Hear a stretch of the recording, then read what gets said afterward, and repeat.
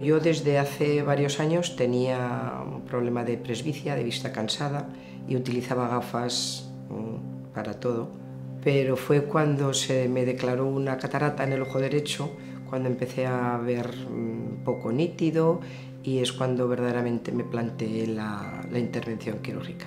En principio solo pensaba en, operarme de la catarata, pero precisamente cuando fui al doctor Duke ¿eh? y me dijo que, mi ojo estaba capacitado para tolerar este otro tipo de, lentes, ni lo dudé.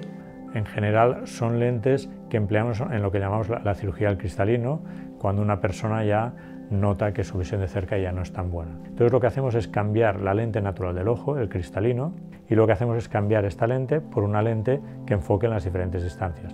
Como el problema principal de muchas personas en esta situación es justamente la vista cansada, la, lente multifocal tiene unas características que permite que una vez implantada en el ojo puedes ver bien de lejos y puedes ver bien también en la, visión de cerca, ordenador, de lectura, etc. Y en la cirugía con lentes multifocales eh, empleamos habitualmente anestesia tópica, es decir, poner unas gotitas de anestesia sobre el ojo. La sedación se pone en quirófano para que la persona pues, esté un poco relajada.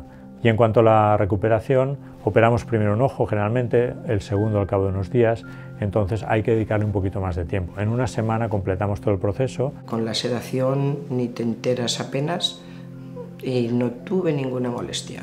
Antes iba por todos los rincones de la casa y por todos los sitios buscando las gafas siempre y ahora para nada. Es una comodidad tremenda.